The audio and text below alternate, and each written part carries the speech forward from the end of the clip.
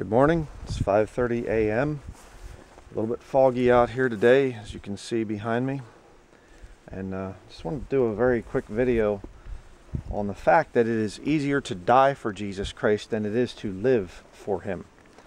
Um, and this is going to have a very important meaning for the future.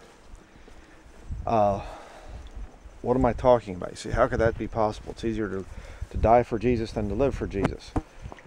Well, um, living for Jesus, uh, a long life, you're going to have a lot of things that will happen to you that most people just don't want to happen. Um, you're going to have family and friends turn against you. You're going to have your parents oftentimes reject you, um, say that you're crazy and you're part of a cult and whatever else and um, you're going to lose jobs you're going to have other things and whatever else and there's the constant daily struggle with the flesh the the sin and everything else that you struggle with as a christian. Um, the apostle paul writes about that in romans chapter 7 and talks about the good thing that he knows that he should do. He doesn't do that he struggles with that. Um, so living for jesus is oftentimes very difficult lot of people, you know, modern Christianity comes along and they say, "Oh, it's not difficult. It's a wonderful life. It's it's great fun and everything else. Everybody loves you and things." Uh, that's not true.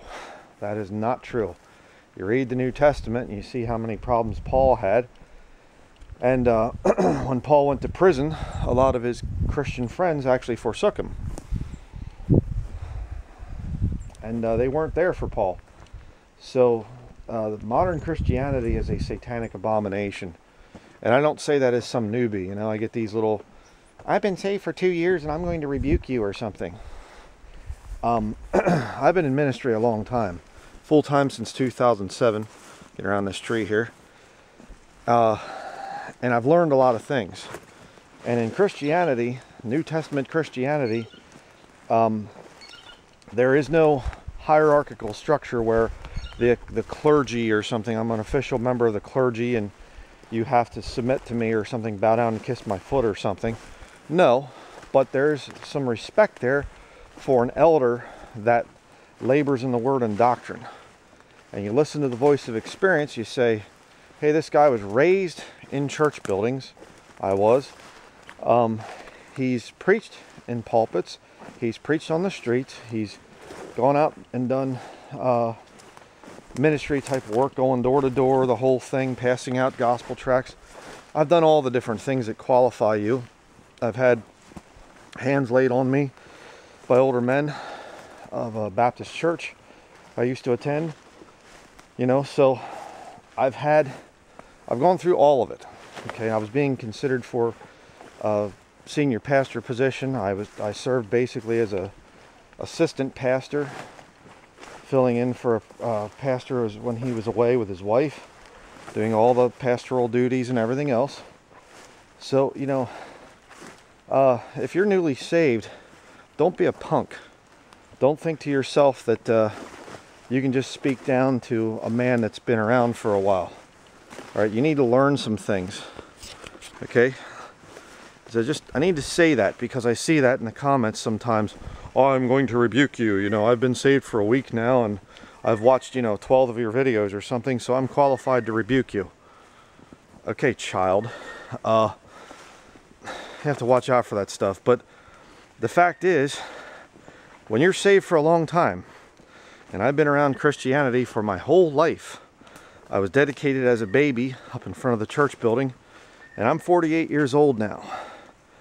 All right, a lot of you, you don't, you might be older than me, but you don't have as much experience as me when it comes to being part of Christian groups. All right, so um, not trying to be proud or anything else. I'm just simply stating some facts here that people need to understand, and uh, people need to respect um, the position of an elder a little bit more than they do. Um, a lot of people have been saved from this ministry and a lot of people's lives have been changed. So, um, but I'll tell you right now, it is not easy to live for Jesus. You know, the old hymn goes, Living for Jesus, a life that is true, striving to please Him in all that I do. And it goes on. Um, but striving to please Him in all that I do, uh, that's not easy. Every day you get up and you think, okay, what should I do today, Lord? What do you want for me? And and um, and you have to think about that. What do I need to give up? What things should I say? What you know? Oh, there's that secular music going through my head. Stop, stop. Bring bringing every thought into captivity. You know, to the obedience of Christ. You're supposed to not let wicked thoughts come into your mind. Every day, every day. I messed up. Lord, I'm so sorry. I, I wasted a whole bunch of time yesterday, Lord. I watching a bunch of things, trying to research this subject. Turned out the subject wasn't right, and whatever else. Lord, I'm sorry I wasted time. Life of repentance, life of of sacrifice, daily sacrifice. It's not easy. It isn't. Um, and uh, the reality of it is that uh, in the future, this is where this video is heading, in the future here, um, in the time of Jacob's trouble, there will be people that are going not going to have to live for Jesus. Uh, they'll get saved, and it'll be a very quick decision that they make. It's going to be a decision of um, you're there at the guillotine, and it's uh, take the mark or you lose your head. Take the mark and worship the beast in his image. I'll say it that way. It's more accurate. Um, and if you don't, your head's coming off. What's it going to be? And the people are going to be looking and they're thinking, I really don't want to go to that bloody guillotine over there. Um, but yet I'm not taking the mark. I have decided to follow Jesus. Get the man, put him over there, put him down in there, and they're saying, Well, Lord, um, I guess I can call you Lord. I, I uh, never was a Christian in the past, but I, I know that I'm not going to be part of that. And, and uh, Lord, I, I pray I go to heaven when I die.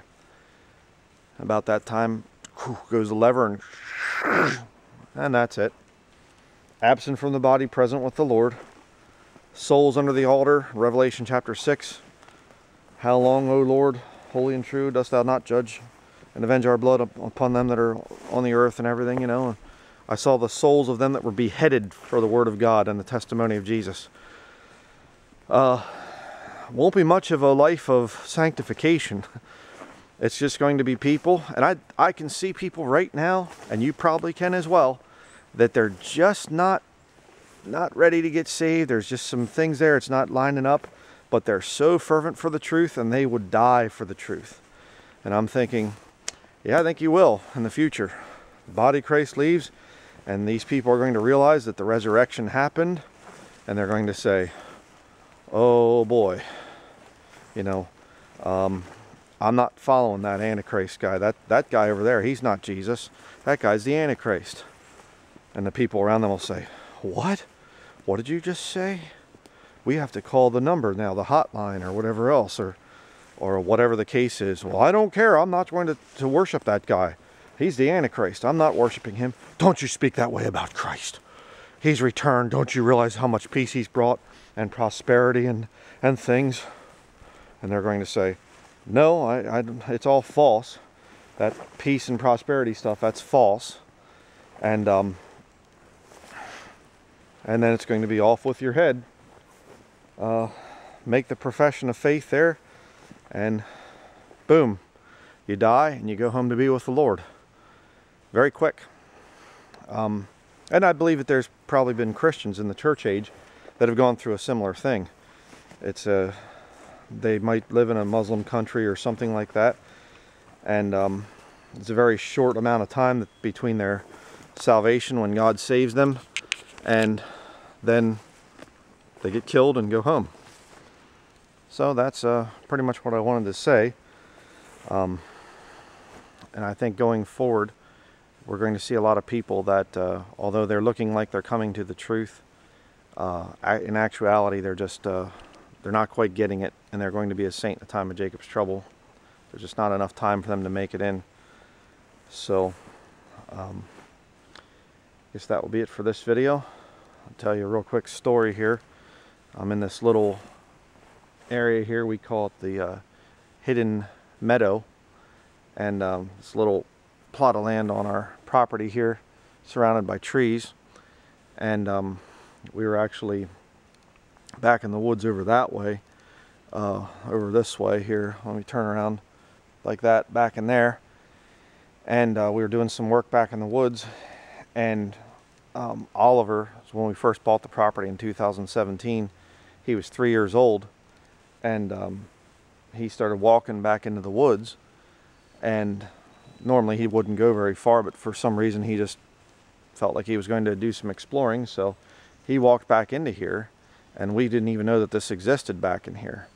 We just thought it was all woods going back through, and and um, so he disappears and we're back in there working and things and and all of a sudden we're looking around where's Oliver at? Where did he go? And, and I knew he'd headed from the woods over this way and so I started to hike through the woods came into this you know the hidden meadow here and wow I didn't even know this existed back here and uh, turned out that while I was coming in he had come back in here hiked around went out and to the field area out that way and then turned and came up around and found us again.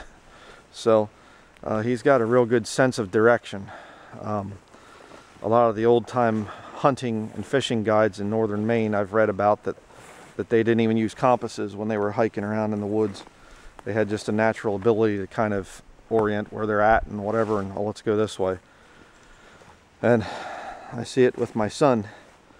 And even, you know, when, we, when he was really little and and things, you know, maybe a year or two after that incident that happened, um, we'd say, which way are we headed? And he'd look and he'd say, north, you know, and we'd be heading north. Or, you know, we're, we're going east now or something. And he knew, no compass. So just thought I'd share that little story with, uh, now that I'm back here in the uh, hidden meadow. So here we have, I'll show you one other thing here before I sign out on this video. I'll turn the camera around. You can see in a wild apple tree. You can see the little apples in the tree. They don't get very big. A lot of the wild apples, some of them get bigger. We have some that are regular size apple trees, but these little apples, they're still pretty good. You can use them for recipes and things. They're not anywhere near ready yet. They're you know, usually October, at the end of October or so is when we usually harvest these. So, but that will be it. Thank you very much for watching.